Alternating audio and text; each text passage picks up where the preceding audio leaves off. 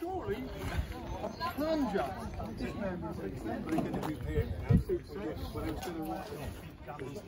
I might try some different oil. I'm not sure about making it